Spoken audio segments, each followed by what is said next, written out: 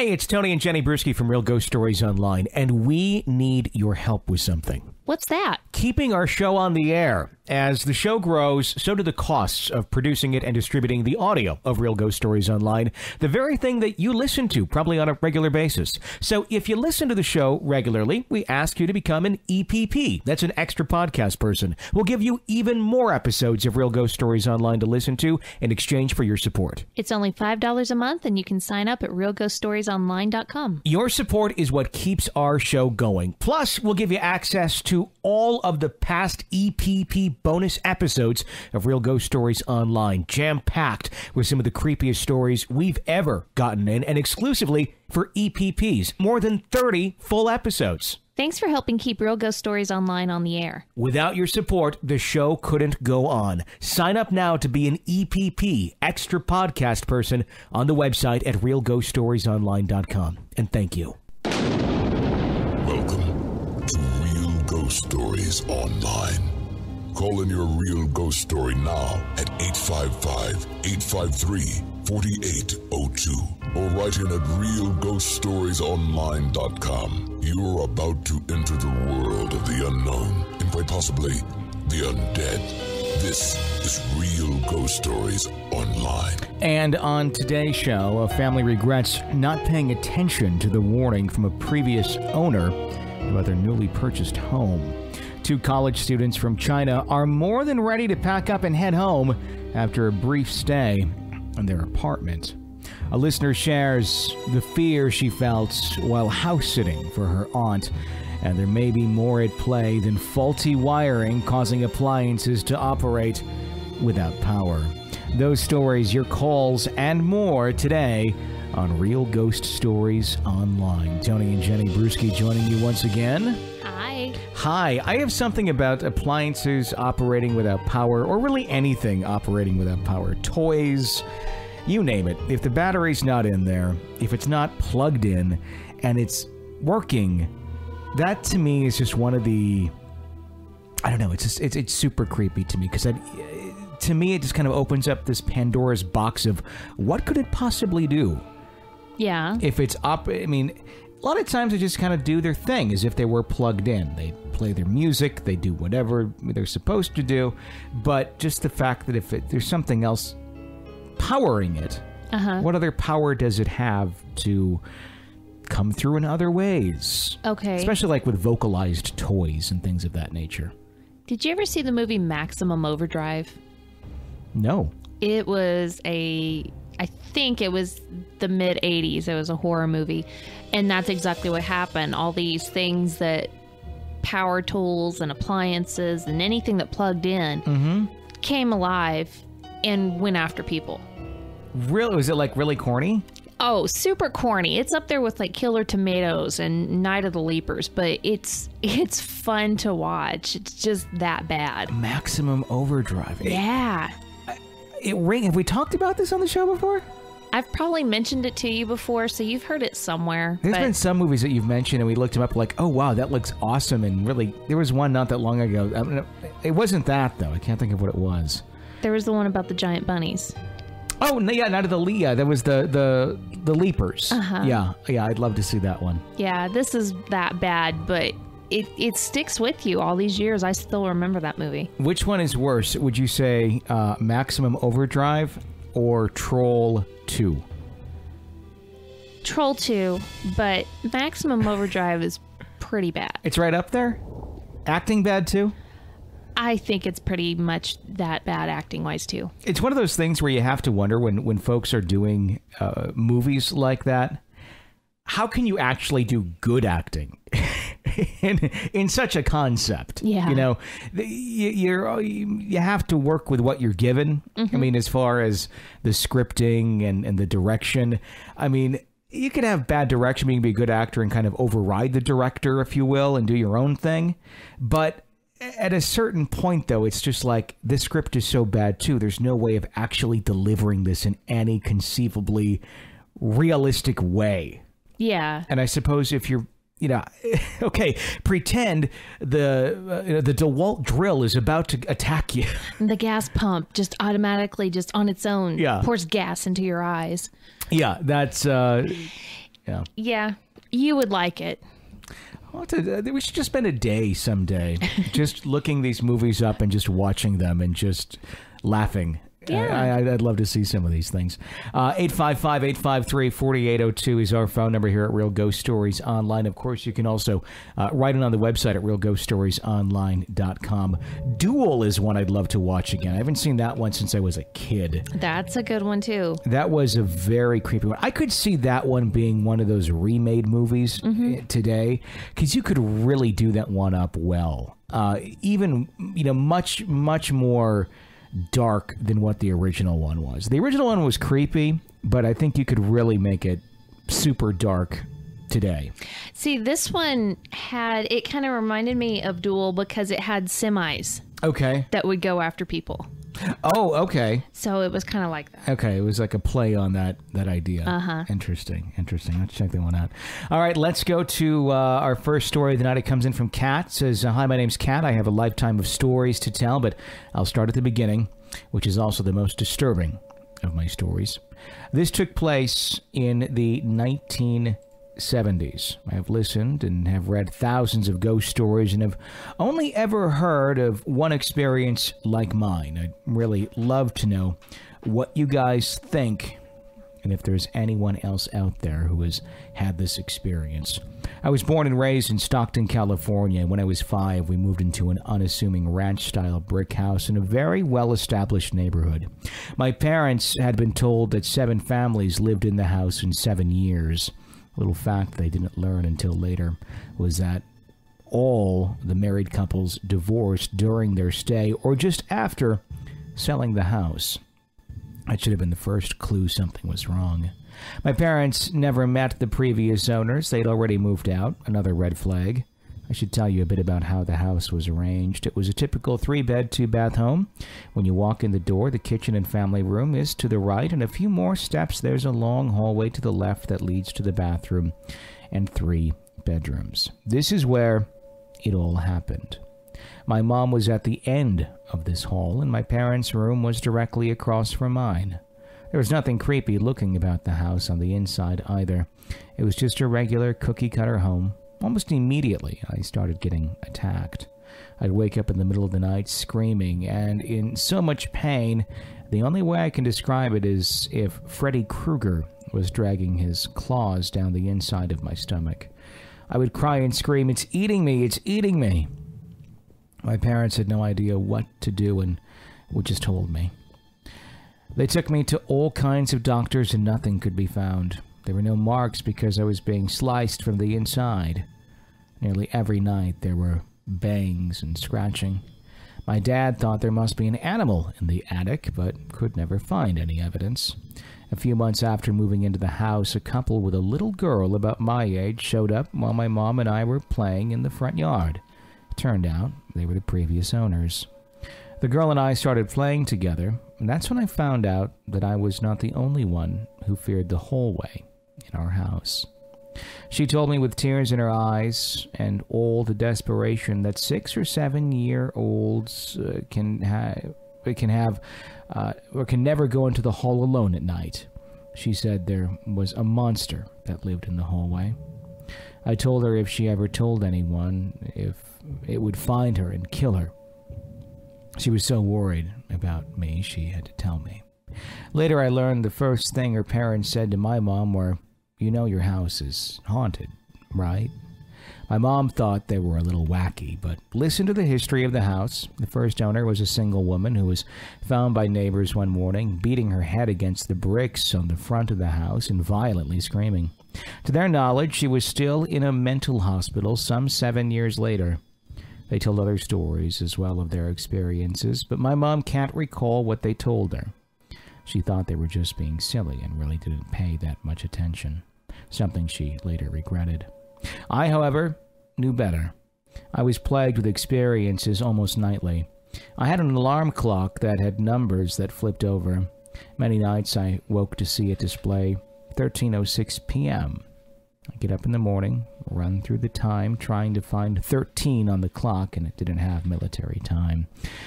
Just a side note, we still have that alarm clock, but it's in a box in the attic. Other times it would go off with the creepy 70s songs like They're Coming to Take Me Away, ha ha, hee hee. I hated that song. It's awful. Do you remember that one? Yeah. I remember it like playing a lot in the early 80s still mm-hmm. when I was a kid. And it was just like, this is so bizarre. Yeah, it's it's weird. That was one of the strangest. I think we go into like the Statler brothers, smoking cigarettes and watching Captain Kangaroo. Remember that? No. My dad loved that record. He played it all the time. Just sit there listening to the record. I, I remember like those two songs together, like on the radio at the time. that was the the lyrics to the song. that is so bizarre. You don't remember that? no. But don't tell me you got nothing to do. Da, da, da, da, da, da, da, da, I don't remember the lyrics. Other than okay, that. I'm gonna have to listen to that now. I'm surprised you don't know that one, because it was kind of. I mean, it was kind of country. I mean, it, it wasn't like super twangy country. It was more like folk country, ish, I guess, if you will. I mean, you know, you've heard the Statler brothers, right? Uh huh. Yeah. Um, and all their stuff kind of somewhat sounded alike. Probably insulted a lot of Statler brothers fans, but, but they, I mean, they had a similar, they did. They, it was like, They had a sound. yeah, it was like, oh, Dave Matthews has a sound, um, but in, in nowhere near the same way. Um, but anyway, it was just kind of along those era of, you know, very individualized songs where you're like, I'm never going to get this out of my head. Okay. And obviously, I still haven't 30 years later. Continuing on, other nights I'd wake to hear growling under my bed, and when I would look, there would be red eyes, and I could see a cold breath, but nothing else. I'd run into my parents' bed across the hall, never daring to look down the hall and jump in the middle of the king size bed. I'd hide under, hide under their covers till morning. This was nearly a nightly occurrence. My aunt, who was only a few years older than me, would spend the night with me sometimes, and I would be attacked with her lying right next to me. She never saw or heard anything, which was so frustrating, making me feel even crazier. My mom would say it appeared that I was asleep, or I was sleepwalking, when it first started. I had a far off stare, and they couldn't get me to stop screaming. I felt trapped in my body and like something was trying to claw its way out. All I could make myself do was scream. I felt I had no control over my legs, and most of the time I didn't remember how I got into my parents' room. One of these nights I heard the growls, and again the clock was six, so I mustered all of my courage, leapt off my bed as far as I could jump. I hit the floor running. It was only about ten, uh, ten feet from my, or 10, 10 inches, ten feet. I always do this wrong. Ten feet. Ten feet. Okay. I always I I confuse the the apostrophe. From the quotation mark? Yeah, I I forget what that means. Ten feet. Feet is one of Yeah. them. Quotation is is inches. Uh huh. Okay. I'll try and remember that. I, I know I won't, but I'll try. Ten feet from my bed to my parents' room, but it felt like miles with my small legs. I hit the hallway and froze. I have no idea what made me stop or why I looked, but I did. Walking about two feet off the floor was a woman dressed similar to a nun, glowing all yellow with a lantern in her hand. She didn't seem to see me, she just stared straight ahead. There was nothing evil looking about her, but something told me if I stayed there and she reached me, I would never be seen again.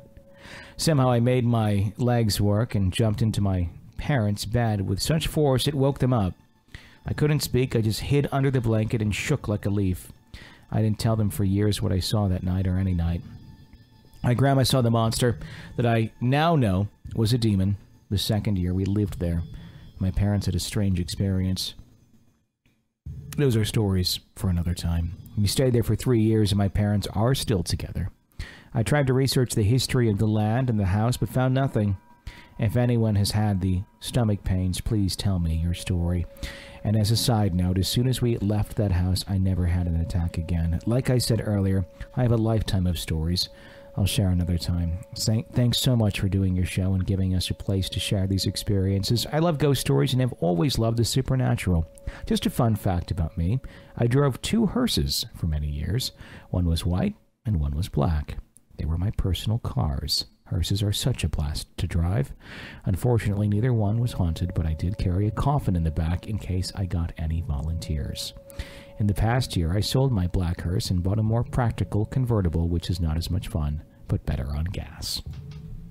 That's my kind of person. The hearse is more fun than the than the convertible. It's like the uh, the daughter on uh, Six Feet Under.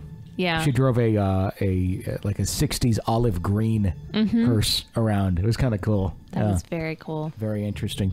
This this story I could see us getting a letter at some point in the next couple of years of someone going, uh, was this the house at you know XXX address? Uh huh. Because seven families, she said, had In seven years. In seven years, um, where you know people who are affected by these things tend to seek out information on the topic Yes.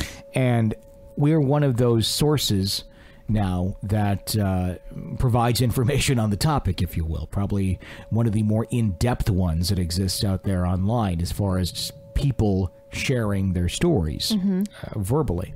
Um, so, if this is something that you know, if it sounds familiar or something, we would definitely love to hear, uh, you know, your uh, your take on it. What what happened with you, even if it is five years later, because that's the interesting thing about shows now. They exist into infinity. Yeah. So we could get a call ten years from now from someone you know going way back in the archive, going, "Hey, Right, So- right. Well, what's interesting to me about this is it almost sounds almost like a possession, but not a possession. Mm-hmm. Being that it seemed like it was something within her that was tearing her up, Yeah. you know, and I would venture to say that this was much more severe than some of the anxiety pains that children have that they get the stomach pains Sure. from terrible anxiety and i think that this sounded just ridiculously severe for what you know for as little as she was yeah." so that makes it in a whole different category for me because i've never heard of anything like that And I don't know if possession is the right word. I get where you're coming from Sure. On that, where you know it's it's like something that's invaded the body, Mm-hmm. but maybe not the mind. yeah and that's why i said it kind of sounded like it but not and that's Yeah. What would you call that? I don't even know. I don't even know if that's like the beginning of a possession. I think that this is just a whole different An attack? monster, no pun intended. What, what's what makes it so different than like saying a spirit attacked me is that it typically when you think of an attack, the the feelings and if there's markings tend to be on the outside Uh huh. physically.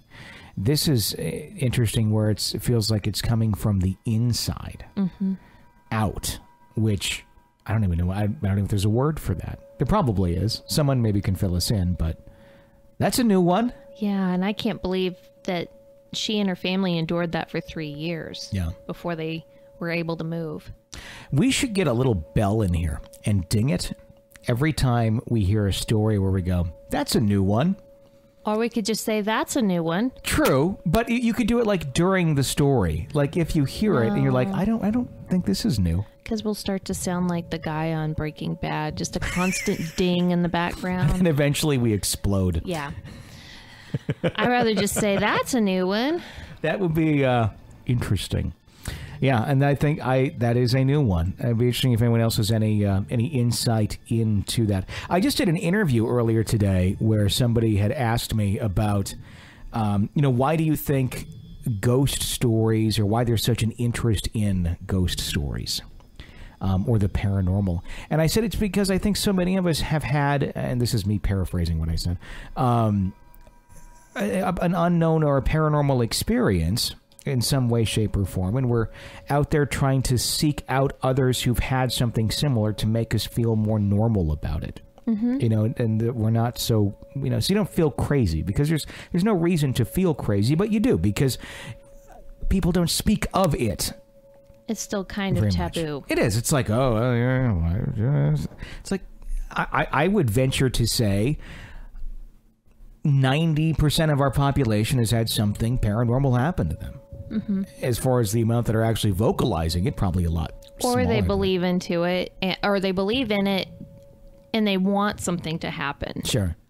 Or write it off as something else. Yeah. You know, I, I, but I would th- think it's it's a majority Mm-hmm. who have had something happen, and that's why I think it's so popular. Do you think people are more accepting now?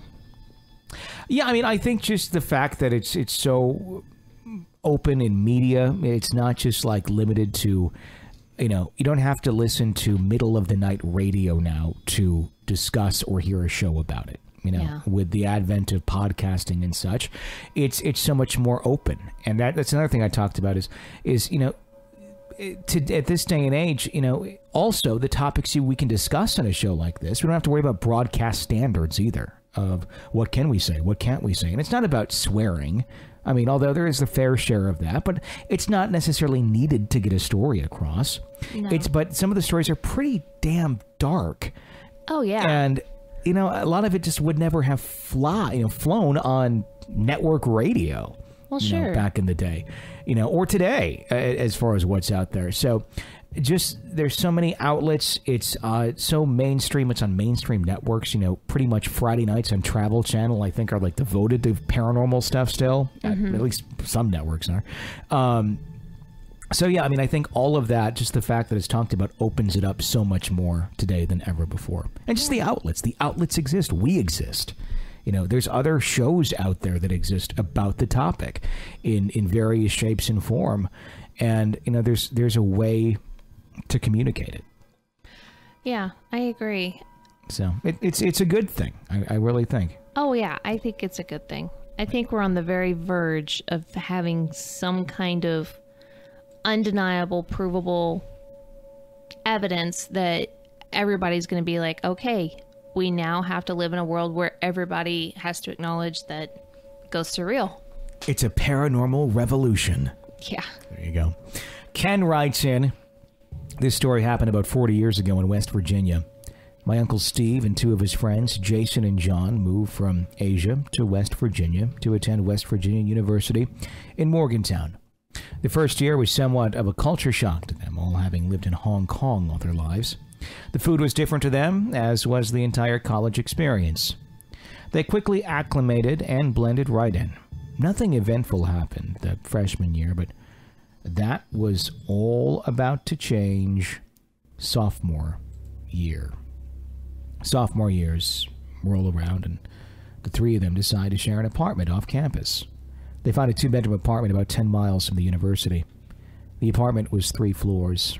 The owner, landlord, an elderly man, lived on the first floor, and my uncle and his friends shared the second floor. Upon moving in, the landlord gave them two strict warnings. One, no more than eight people are allowed in the unit at any given time, no parties.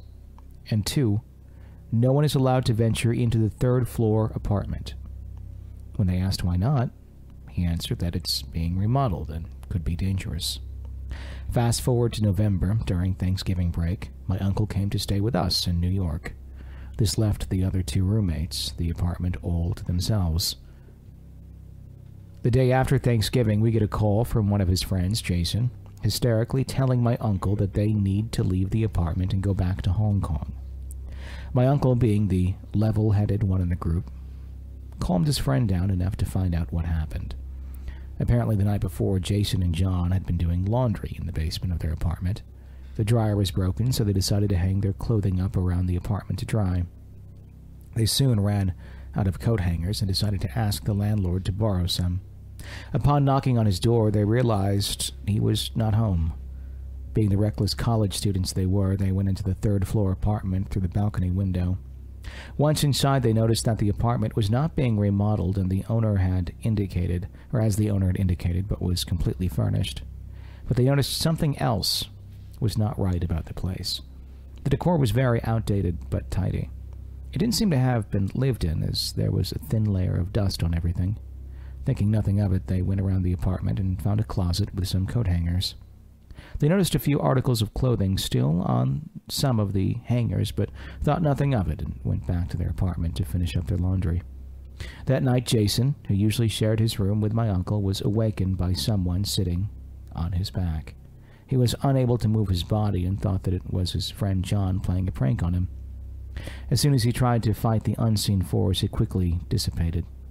He goes back to sleep as soon as it happens again. And the third time, he forces himself to roll off the bed and screams, Cut it out! At that point, he realizes it wasn't his friend playing a trick on him. He looks toward the light in the hall and sees a girl's head, probably meant face, but could be lost in translation as the story was told to me in Chinese, staring at him.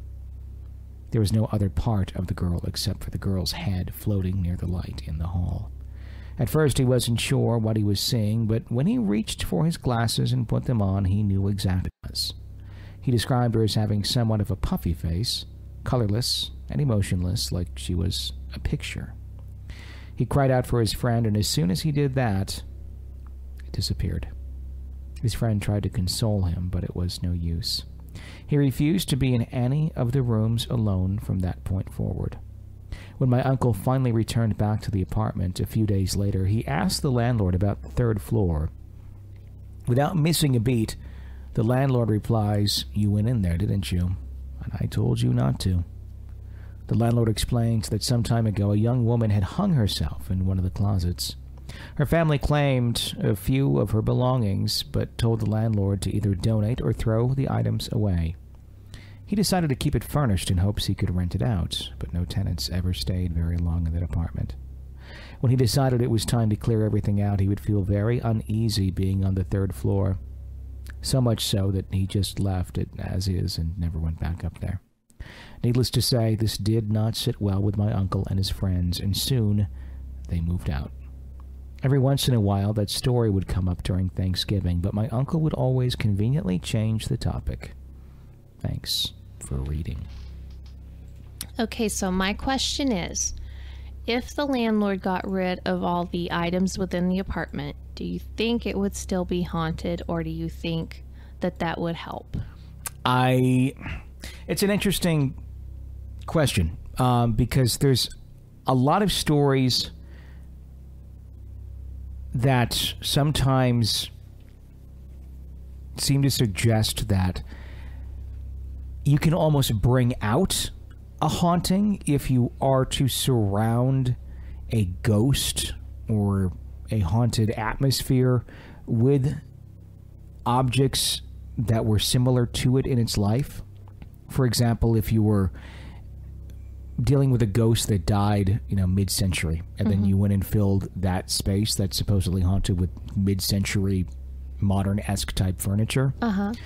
That that sometimes brings out the ghost. You kind of make it feel at home. Exactly. okay. So, feeling at home with its own furniture and such there, I think, could likely make it feel a little more welcome mm-hmm. and able to come out. Removing the furniture, I don't think that that necessarily will make it go away, Okay. But I could see it essentially turning the volume down from maybe an 8 to a 2.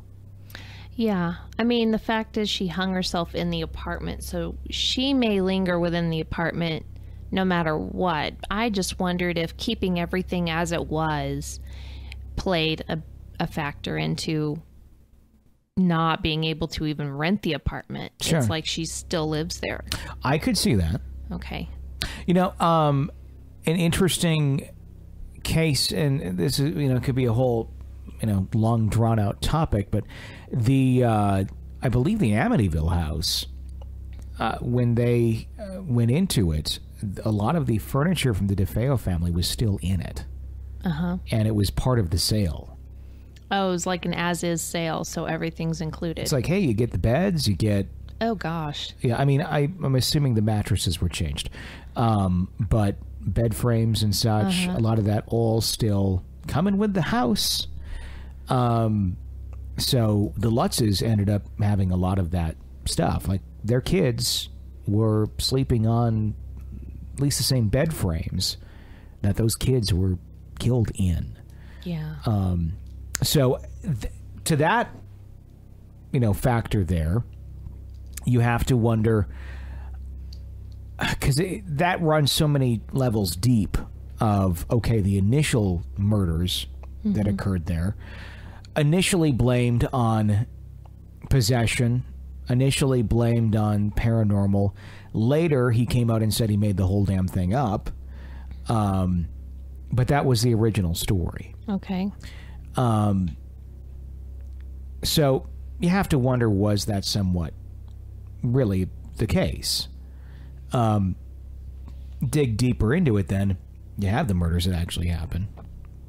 Then do you actually have um, maybe something completely different or just added to the mix of negative energy that's haunting the place um, that goes beyond whatever caused the original murder to take place. um, when you have all the new bodies that were, you know, and, and, and people that were taken out in that home. Yeah. You know what I'm saying? Level to level to level Yeah. of just in, turning up the volume essentially on your odds of paranormal activity. Had he not ever said anything about there being a uh, a demon or something possessing him, he just uh, say he was just a, a, a murderer. Just I just went and killed my family because I was nuts, or you know, or whatever. You know, I hated them, whatever. Um, take paranormal out of the whole equation, you'd still probably look at that house as a good candidate for a haunting right. um, with just the murders alone Yeah. that occurred. Um, but the thing is, it goes back before the murders of there being claims of paranormal activity. Sure.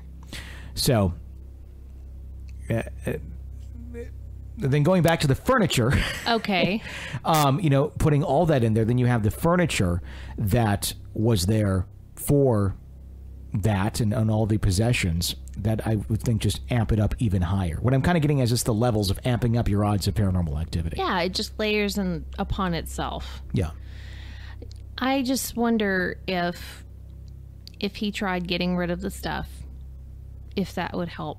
It may really piss her off and she might come out with a vengeance, but you aren't going to know cuz right now, you know, just sitting there with the apartment empty, furnished mm-hmm.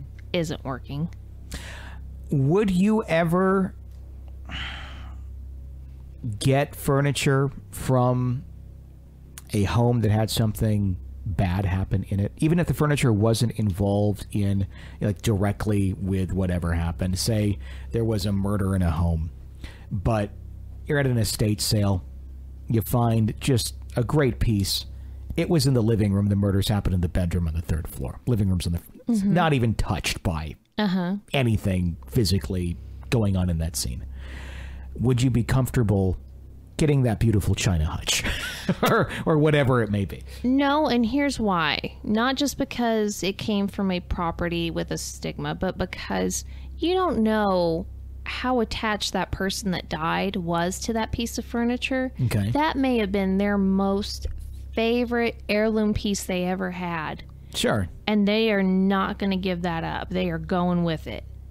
I'm not willing to take that heirloom piece of furniture and the ghost with it to my new home because I just don't I don't want to mess with that and I think when you're killed that quickly, I think it makes it a higher chance of having a haunting. Can you, you, know? If you're the ghost, can you only pick one piece of furniture to go with or can you go with multiple pieces? We don't know that, so I'm not taking that chance. That's an interesting thought though because we've had some stories where that that's one of those things where we've had before where we kind of go, "Oh, that's a new one." But here's the thing, Tony. If we did that, if we had a piece of furniture in our home that we bought at at an estate sale from somebody who died during a murder or some other horrific thing within the home, every time you look at that piece of furniture, what are you going to think?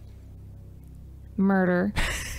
Yeah, house. you're right. I was trying to think of some sort of smart ass thing to say. No. And I had nothing. No, it's Nothing. it's going to be right there in your mind and who wants to do that? Constantly think about, "Oh man, that came from some lady that got deca- decapitated or whatever," you know?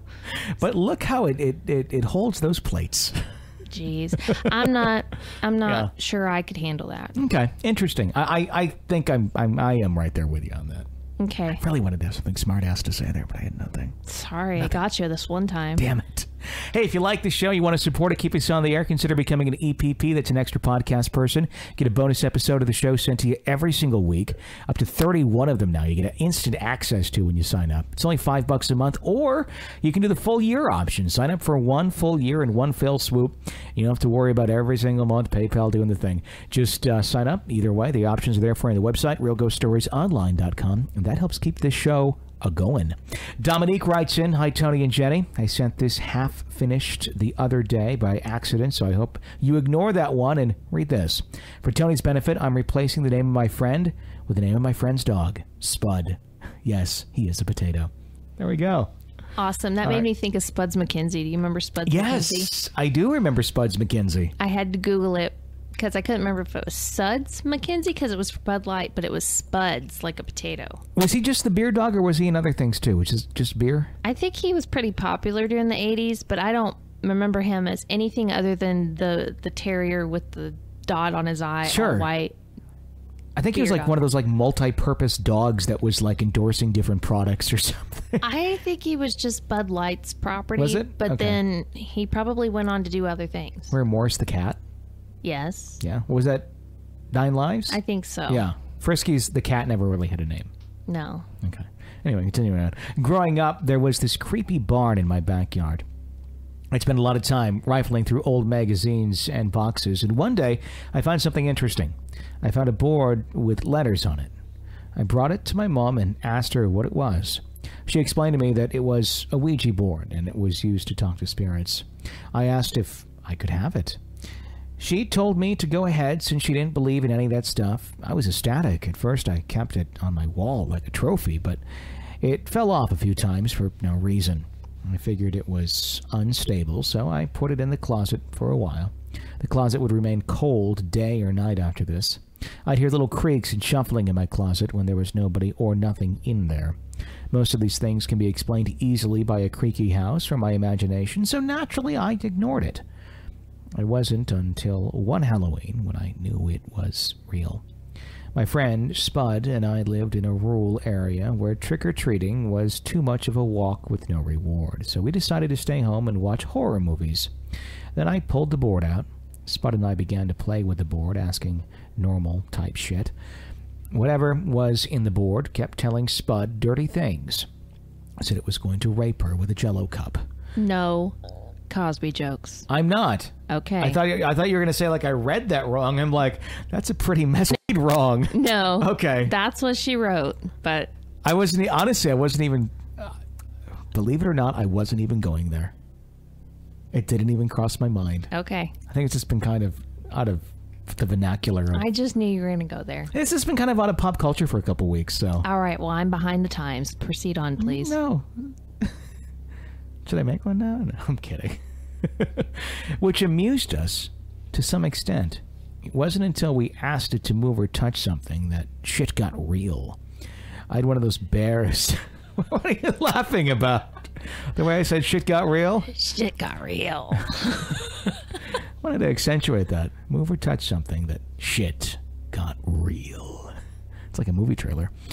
I had one of those bears that had a uh, button in its hand that, upon being pressed, would play music. Can you guess what happened next? Across the room, the bear started playing a tune. Spud and I looked at each other. We weren't scared, but knew we were dealing with something strong. We tried to force it to close by saying goodbye, but whatever it was wouldn't say goodbye. This left the board open, although we didn't know it at the time. The board went back in the closet for a while. I'd hear more deliberate noises, and although my closet had one sliding door and was open to the sunlight, it still remained cold. It wasn't until my sister yelled at me to stop making noise one night that I decided it couldn't be in my room. I didn't want to let go of the board due to my horror and paranormal obsession, so I put it in the garage. Being a teenager now, I liked to talk on the phone at night, but had to go where I wasn't heard, so naturally, I went to the garage. In the night, objects would fall or tip over, some things I would ignore. It was one night when I was in there when I was talking on the phone. Something creaked and shuffled, and I looked up, scared but calm. Then something hit the garage door. It rumbled and shook from the hit. I jumped and stopped talking so I could listen. I walked over to look around and make sure it wasn't my cat jumping on the door and looked to get it uh, in or out. I poked around and saw and heard nothing. I started to leave the garage and heard a small bang on the door with some shuffling towards me. Without turning around, I squirmed inside, scared. The next day, I took the board, chucked it in the trash. Now, I know a couple ways to destroy one without releasing anything, but mind you, my mom already thought I was weird, and burning or drowning the board would. I made her think I was even more nuts. I wish I could tell you what happened to the board, but I have no idea. I hope Tony's need for a name to be replaced with an animal's name is satisfied for the time being. This name isn't as good as Fluffles, but who the hell names their animal Fluffles? Anyway, I hope you liked my story, and have a great day. The answer to that question, of who the hell names their animal Fluffles, You? well, close to Scruffles. Yeah. And and it was all. I'll tell that story in a minute, but let's let's react to the story first. Well, my question is I would want to be, well, I guess it's not really a question. I guess it's more of a statement, but I think I would want to be in the know on where that board ended up because my fear would be like, it's in a box of stuff. You know, she was a teenager. You're getting ready to move out, go to college, and it ends up going with you. Mm-hmm. I'd want to know the whereabouts of the board, especially since it seemed to be that it would not allow the conversation to close. It's like one of those things at the end of a movie where you throw it in the dumpster and like the horror has ended, and then the the camera's kind of panning out down the road, and there's some little kids riding his bike down his big wheels down the road. Gets up, sees it. What's this? The alphabet, Yeah. you know, and puts it in the back of his big wheels and drives away. Mm-hmm. Fade to black, and then you know it's like the the sequel comes out. It makes you wonder what kind of spirit they were dealing with if it was Yeah. just trying to be as profane as possible. And choosing a jello cup of all things, that makes me think it was pretty young. Dark, Pretty dark, but pretty young. like a young young dark spirit. That or somebody trying to sound darker than they were. Yeah. Like, who even, as an adult, how often do you think of a jello cup anyway? I I don't know. I don't. So I'm just thinking that maybe it was something trying to be bigger and badder than it really was. Sure. I mean, th- th- there's different levels to it. So, yeah, very interesting story. Um, on the Scruffles topic, Okay. I uh, on the radio, back in the old radio days, Yeah. and the FM broadcast days, um, when I was a teenager and I had my uh, afternoon radio show on a rock radio station, um, I would do these these prank calls, and you know, it's back when you know you could, you know, kind of get away with that, and it was somewhat original, and like everyone in the world wasn't doing it. Um, I, I had this this character cat Scruffles is what I called it on the air, and I, I picked that name just because it was such a, such a silly name, you know, for a pet, and it was kind of like I, I just thought it was silly, you know, that for being a pet's name, and the cat would be involved in the prank calls in in every which horrible way. You know, could be involved. It got caught in the, the washing machine once and calling Sears Home Appliance to try and get advice how to get it out. Sure. I mean, you name it, it happened. With, and it was a reoccurring fake cat. Um, and I love cats. Um, but I also find animal humor very funny. Um, so anyway, I did the character for so long with this cat, and eventually, um, I mean, I was doing this in high school. I was on the air on an FM rock station in high school. When I moved out at 18, um, I went to Top 40 Radio, had my own place finally, and uh, then I got my own cat. So what did I name it? Scruffles. Of course. So. And and the cat's still alive. Yeah. Actually, it's it's living with my parents these days. And it growls when it sees you. it does. It used to be such a friendly. That's the it's a friendly cat to everybody else. It just doesn't like you. It knows when you come home that it's bad news. the funny thing is the whole time I had that cat, it was so loving to me. I mean, it was never like mean to me. I had to get rid of it because of my allergies. Um, and I just I I couldn't breathe to a certain point. And the funny thing is, it's like after like my mom started influencing it, and my mom's really the cat loves my mom. I think my mom turned the cat against me. No, I think your mom showed it how it should be treated. I treated it well. now it knows, oh, okay, I'm not going back to that. I was really nice to that cat. It slept on my bed. It was I really enjoyed it. It was like it was my companion for a long time and it was a really it was weird because that cat like never hissed. I thought mm-hmm. there was something wrong with it. Mm-hmm. Seriously, like mentally wrong with the cat because like it didn't hiss at anything. Uh-huh. And like normally like, you know, not that I was provoking the cat, but you know, if there's a I was in a, an apartment and there's other animals, dogs, this and that, and I've other cats, you know, they get upset when they see another animal or something. They get defensive, especially cats. And it was just so passive the whole time I had it. And that's why when I went back to, you know, go back to visit, it's like aggressive. It's kind of pissy. And it just used to be the most loving, kind. I don't know what happened. I just don't know. Maybe she switched out the. Maybe she switched out of the cat on me and didn't want to tell me that No, Scruffles really that's died. The real Scruffles. You know that's the real Scruffles. Oh my gosh! Just like she did with the hamster when I was eight. she did it with my cat when I was thirty. Alyssa writes in, Hi, Tony and Jenny. I recently sent in a story my grandmother told me, and now would like to share an experience of my own. I have two aunts who live a few houses away from each other, Anne and Mary. My younger aunt, uh, Mary's husband, Philip, died in her home from cancer years ago. I was very young when he died, maybe about five or six years old. From what I do remember, he was a nice man. They used to babysit me a lot, so I would say I had a, a, closeness with him. I actually lived with him one summer when I was around 14 and never experienced anything out of the ordinary. Although when my cousins would spend the night, it would always bring up the fact that her home could be haunted. But I never actually believed it, since my aunt or anyone else had hadn't ever experienced anything then. Flash forward a few years, I was 18, staying at her home for the weekends as I lived out of town at the time. My aunt herself was out of town and let me stay there whenever I came back up to the Bay Area to visit. The night I arrived and I decided to shower before bed, I clearly remember closing and locking the door in the bathroom and having a bag with my shampoo and soap in it that I brought. I realized my aunt had left a new bottle of shampoo and all other necessities for my stay at her house, so I left my bag at the sink. Once I was finished showering, I opened the curtain and realized that the bag had, uh, was now on the floor and the door was halfway open. First thought in my mind was maybe that my Aunt Anne, who lived a few houses down, came to check on me as I knew she had a key to the house. It then came to mind that there is no one way she could have unlocked the bathroom door, as it was a standard doorknob with no key entry on the other side. I just had this feeling something wasn't right. My heart began to race as I threw my clothes on and ran right out the front door and slammed it shut, not even thinking twice to lock it. I ran to my Aunt Anne's and my uncle what had just happened. We sat there trying to come up with reasonable explanations how this could have happened, like maybe I thought I left my bag in the sink, but I dropped it on the floor. Could have been too tired from my drive to remember that. Highly unlikely, but possible. But what about the door being opened? I know I locked it since I was all alone and it was late at night. We thought maybe I didn't completely close the door as I thought I had, and maybe a draft pushed it open halfway.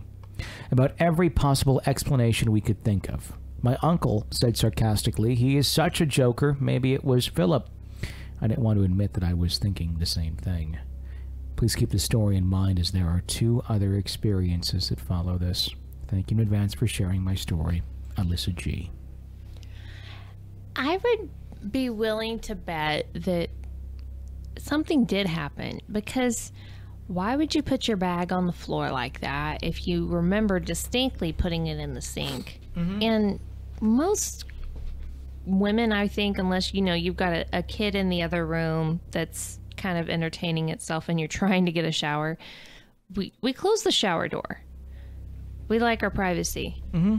unless we're trying to keep one ear on, you know, Sure. the ten year old that's playing video games in the next room.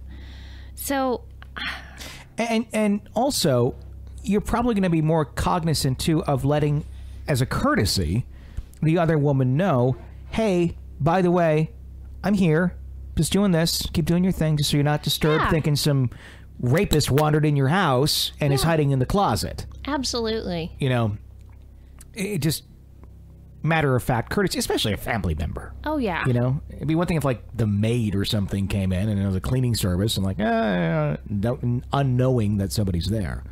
Well, and this is a pretty big generalization, but I'm betting that if it had been one of the aunts, you know, either the one that lived there or the one down the street, they came in, they saw she was in the shower, needed to use the sink or whatever, they're going to probably put whatever it was they put on the floor back in the sink mm-hmm. where it was. That's what you do. You just put things back where you found them. Sure.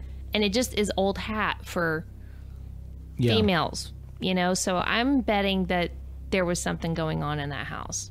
Yeah, I would. I, I would agree. I'd love to hear the uh, the other stories that uh, she mentioned she has. So please do write back in.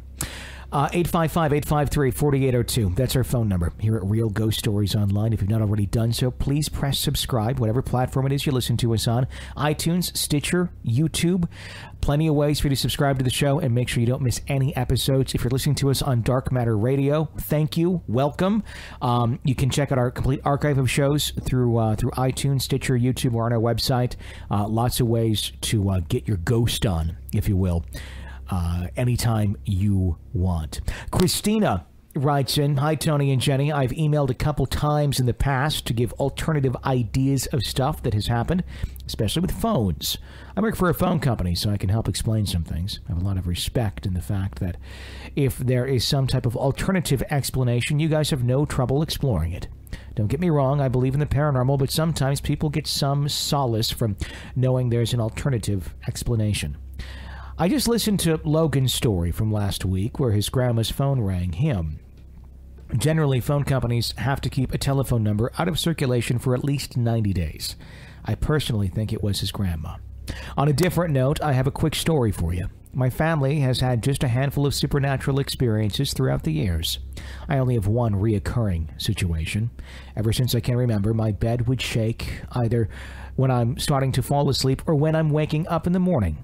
I like to think that I was already waking up before the bed would shake in the morning, but I can't really be sure. It happened often, but was never in every night's occurrence. I never have paralysis when this happens. I can move around. I usually ask several times to leave, sometimes going as far as invoking the name of Christ.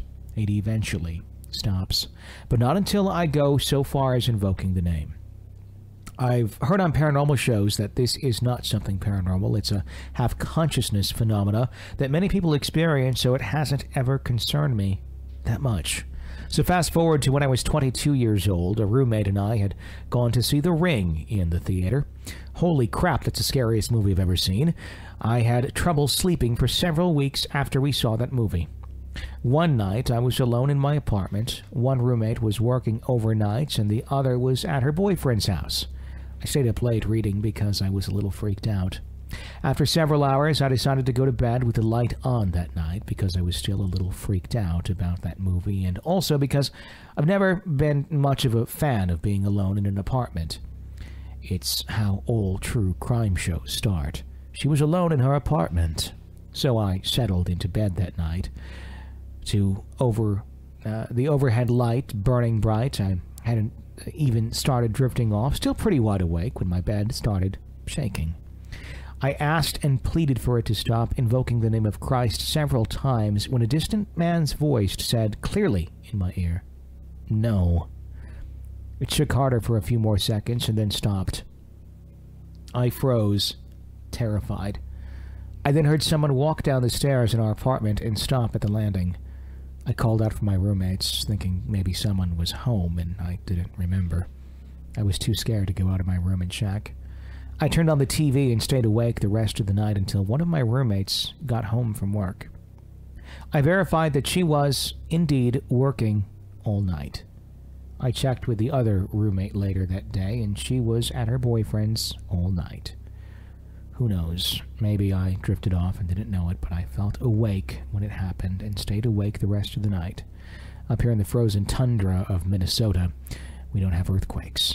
I lived in Mexico briefly years after this happened. It definitely wasn't anything like an earthquake either. Thanks for taking the time to read my story. I hope you guys have a swell day. Christina. I would put this in the same category as sleep paralysis. And here's the reason why. Because sometimes sleep paralysis is just something that happens when you're in that in between state. And sometimes there's paranormal going along with it. Mm-hmm. I think sometimes the shaking syndrome, which that's not what it's really called, but that's what I'm calling it. Okay. Happens and it's just kind of an in between state, like sleep paralysis. And then when you have a shaking like that and you have a distinct voice in your ear telling you no when you ask it to stop, there's something more going on. So I think because we have a lot of shaking syndrome or shaking type stories like that where I felt my bed shake and then mm-hmm. it stopped. You know, I think that it, it's one of those things where it can kind of go both ways. Do you think the bed's actually shaking in those cases? Or do you think it's more so the sensation of it? Just like when you're halfway asleep and you, you feel like you're running or falling and suddenly you start kicking your legs and such. Is that in that family of sensations, if you will? I think it's different because people know when it's them shaking versus something shaking them. Sure. Meaning that you know how sometimes people shake when they're almost asleep. I know I do it. Yeah. And I know it's me. and I don't even suspect that it's something else. Yeah. But if it's the bed shaking and you're not moving, that's a whole different sensation. And I think people are able to differentiate between the Yeah. two, even in an almost sleep state. I agree. I think I'd be jumping off that bed really quick. Yeah. I think that'd be literally my first reaction is pop up, jump off. Uh huh. And I I've never had that happen. I've had the exploding head syndrome. Yeah. which actually I want to talk about this, and we'll talk about it maybe in tomorrow's show. Um, but there was uh, actually it was in mainstream uh, article the other day. Uh, CBS News uh, did a story on it Oh, really? about it being a very, very, very common thing. Because there's actually some new research out about it, um, and actually college students experiencing it. Um, I, I haven't read the whole thing. A friend of mine, Todd, actually, I saw posted an article, uh, a link to it on Facebook, and Todd's written into the show before sure. um, way back. Um, but uh, I, I want to read it, and we can talk about it, share it on uh, maybe tomorrow's episode or, or Monday's episode at this point. Um, but it's it, interesting. Uh, it was just it was neat to see it kind of being talked about more so than just on our show. I wonder if it has anything to do with stress. I really think it does. I think it has a lot to do with stress because I I think it's one of those things where you are in a a state of not quite being able to fall asleep, and you're still being somewhat awoken by other things, and that's when it. I mean, that's when it occurs for me Okay. more than any time is when I'm not getting a good night's sleep and I'm having difficulty falling asleep. It's like right probably close to that area where you could fall into sleep paralysis. Mm-hmm. Um, where you're not fully there yet. So I, I think it does. Anyway, we'll talk about that more on uh, on Monday's show. Connie writes in, "Hi Tony and Jenny, love your show. Listen every day while I'm working. I have an experience I'd like to share, although I don't know if I can really or it can be really called a ghost story. This happened when I was around 13 or 14 years old. I was on my spring break. My mom and dad had gone to work and had allowed me to sleep in. When I woke up, I started getting dressed and was sitting on the side of my bed putting on my shoes. I had on one shoe and was reaching for the other when the window unit's air conditioner came on. At first, I didn't really think anything about it, just reached back to turn it off. Then I realized it was already in the off position. I pressed a couple of buttons and turned a couple of knobs, and nothing changed. It just kept running. At that point, I was starting to freak out, so I reached down to unplug it, thinking surely that would make it stop. It was already unplugged. I totally freaked out, ran out of the house, went to my safe haven, my grandmother. Thankfully, she lived only two houses away. So, anyway, I spent the day with my grandmother. I had to tell her what happened because she was curious as to why I was so pale when I got to her house. She told me just to calm down and that everything would be fine. As the day wore on, I tried to forget about the experience. When my mom got home from work, I felt safe enough to go back. I told mom about what had happened, and I'm pretty sure she thought I was making it up. We started making dinner, and mom told me to go grab some socks from my room. It was still a bit cold, and my mom wanted a pair of fuzzy socks. I was scared, but I didn't really have a choice, so off I went. Went into my room, opened the drawer, reached into the drawer, and the AC unit came on again. I screamed and ran out of the room. My mom went in to see what was going on. She saw that it was turned off and unplugged, but was still running. She was convinced at that point that I wasn't making it up and was just as upset as I was. When my dad got home from work, we told him all about it. He had a friend that was an electrician, so he called him, came to check it out the next day. The electrician couldn't find anything wrong with it and said there was probably a short in the line. I'm not an electrician, and I understand that sometimes AC units can hold a charge for a little while, but I never believed that it could have held a charge from the previous summer. And I couldn't figure out how there could be a short in the line when there was no power going into it. To my knowledge, it never happened again, but I moved out of that room the following day after my parents got home. I spent the rest of that spring break with my grandmother. So that's one of my stories. I hope you enjoy. Thanks. Okay. That would take a lot of energy, wouldn't it, for a ghost to power something like that? Yeah, because typically those are on even uh, higher GFI plugs than regular. Mm-hmm. I mean, it's like a refrigerator plug or or like a dryer or a, a washing machine. You know, the Sure. giant plugs. Yeah. So those do take a lot of electricity to run. What do you think? I I think there's no doubt it was paranormal. I mean, uh, I mean, so at the beginning of the story, where uh, said, "I'm not sure this is paranormal." Oh, be sure, it's paranormal. It's it's very paranormal. Um, things like that.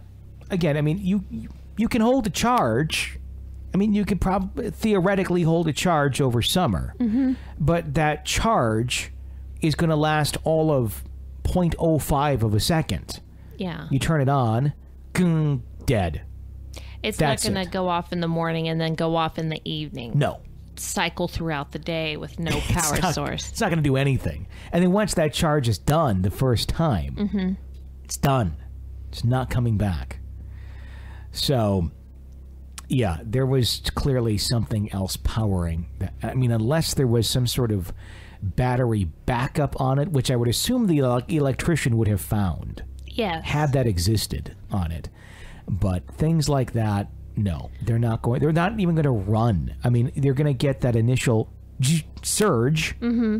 You may get the fan to rotate for a little second, but that's it. Well, I think it says something that obviously she saw it and her parents didn't believe her because it's not something that generally can happen. And then once her parents saw it happen, they rolled out all the possibilities of what it could be and called in an electrician who then ruled out all the possibilities. So you have, mm-hmm.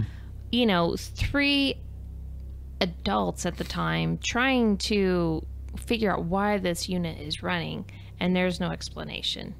So I really think as much power as it took, that's what made me wonder if it was paranormal or not. If the if the Yeah. ghost had enough power to run it. Well, it, it had clearly something. It did. You know, I mean, I'm, I'm happy it stopped at the AC unit.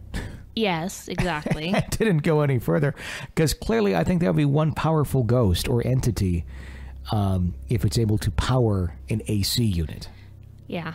You know, it, it's it's probably not as comparable as powering a car, but it's up there. I mean, it's a large appliance. It's one thing to have it power a transistor radio for a couple seconds. It's a whole other thing to power something like that Right. because those are big.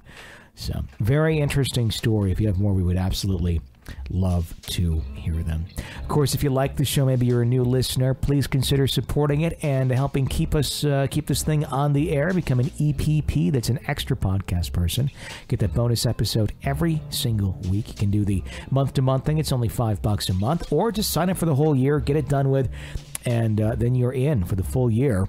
And uh, every single week, brand new bonus episode and access to all of our previous ones too. Right now, sitting at uh, 31 bonus episodes and a brand new one coming out on Saturday. So please uh, help keep us uh, on the air and uh, support the show by becoming an EPP. Until next time, for Jenny Brueski, I'm Tony Brueski. Thanks for listening to another episode of Real Ghost Stories Online.